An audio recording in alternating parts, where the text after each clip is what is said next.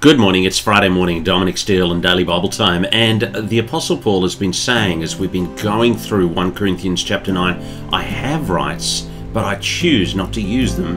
And at verse 19 of 1 Corinthians 9, he broadens the application to make it much wider than whether or not the Christian minister gets paid. And if you look with me, 1 Corinthians chapter 9, sentence 19, though I am free and belong to no man, I make myself a slave to everyone.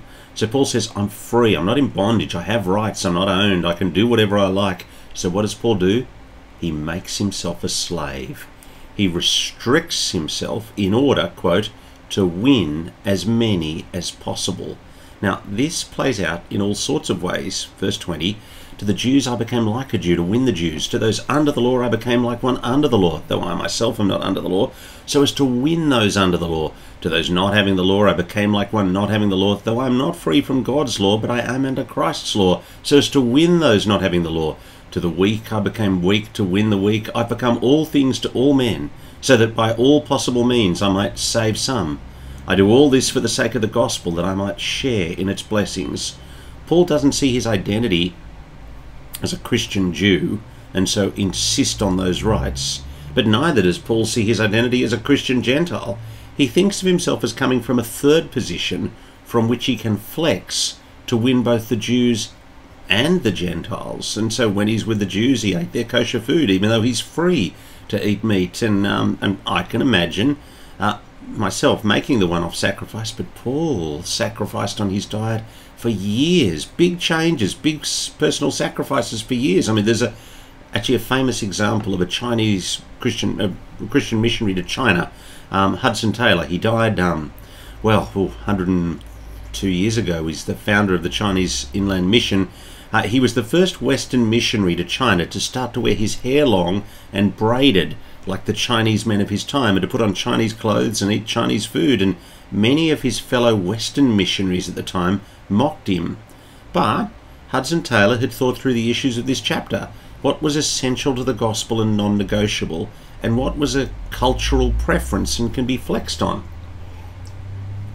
And so, actually, this is actually how we think as Christian ministers. If I flex on the non negotiable, um, that will influence the way I dress as you go out to represent Jesus. Um, uh, if I'm speaking on a church weekend away, I'll, I'll wear weekend clothes. If I'm giving an after dinner address in the city workers' function in York Street, wear suit and tie. Um, and, and you do it to the Jews, I become like the Jews to win the Jews. So, does that mean Paul, me, any minister of Christ Jesus, is Mr. Wishy Washy, no backbone, two face? One moment wear a tie to win one group, one next moment put on different clothes to win another. Is Paul pretending to be somebody he isn't? Is he telling us to pretend to be someone we aren't? No, I don't think Paul is Mr. Wishy Washy. I think Paul is calling on us to have such a mature, nuanced understanding of the gospel that we can be, on the one hand, fanatically rigid on the things that really are essential, and on the other hand, extraordinarily flexible on the non essentials. He wants us to have such a deep grasp of the gospel that we'll know where to be rigid and where to bend. The person who has a Christian life that is just endless rules, has no room to flex, that rigid Christian is in the end the weak, immature Christian. But the person who is all flex, who's just driven hither and thither with no roots, no foundation, no convictions, no self identity, no non negotiable values, they're just all over the place in their behavior, their morals. They're not flexing, they're just all over the place people. They too are the weak, immature Christian. They don't hold anything stable enough for them to win anyone to. They might fit in with everyone, but they won't win anyone because they won't have anything of substance to win them to. Now, I don't know. You're watching this morning. Perhaps you identify with a rigid Christian, or perhaps you identify with a fit in everywhere Christian. You don't have anything that you stand for yourself. Now, let me be clear Paul stands for something.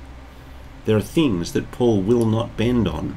And um, I've just said we need to put aside our rights in order to win people to the gospel, to see people saved. We need to bend on a whole range of things to help people fit in.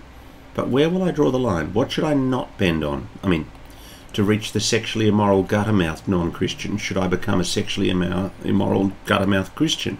No. Chapter 9, verse 21. To those not having the law, I became like one not having the law, though I am not free from God's law, but I am under Christ's law, so as to win those not having the law.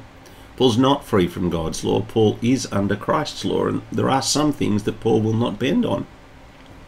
Just because the culture we work in is sexually promiscuous, or that you work in a culture where people get drunk all the time, doesn't mean you should be promiscuous and drunk in order to relate to them. You're not free from Christ's law. Let me give you two quick stories to illustrate where I got this right and then wrong. I remember one radio journalist coming around to dinner at our house a long time ago with her boyfriend, and they'd had a discussion in the car should we take a bottle of wine to take to Dominic's place? Well, Dominic's a Christian, I don't think he drinks. What?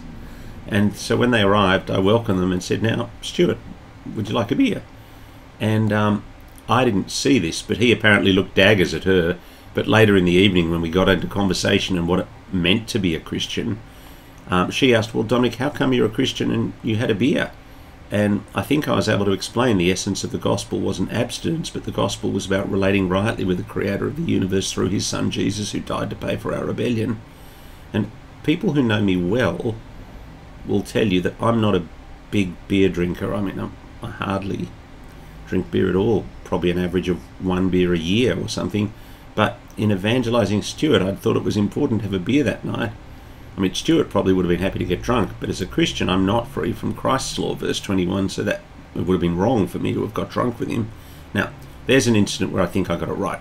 Here's where one where I got it wrong. Also, a long time ago, we were um, talking to people about Jesus, doing stranger evangelism, out walking up, um, and we were talking to this bloke, and he was a bloke who was dropping a swear word every couple of words, and I changed my language to suit him in order to have rapport to the non-Christian, um, uh, and I, I, used a swear word in the conversation, and I guess I had in mind to be a Jew, like a Jew, to win the Jews but on reflecting on 1 Corinthians 9:21, I've decided I was wrong. I'm not free from Christ's law.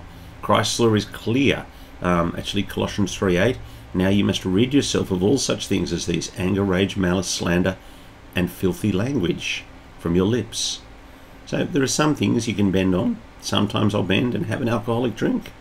But some things, rigid as tensile steel on, and actually swearing is one of them that um, you don't want to be like a Jew to win the Jews on the issue of swearing. Thanks for joining us uh, on Daily Bible Time today, and uh, let me lead us in prayer.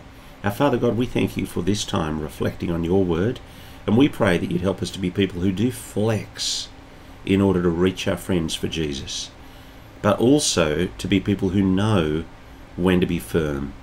And Lord, I do just pray about this issue of swearing, which is a challenge issue for so many Christians. And we pray that you'd help us to, um, uh, to not use filthy language from our lips, even as we're evangelizing our non Christian friends. And we pray that in Jesus' name. Amen.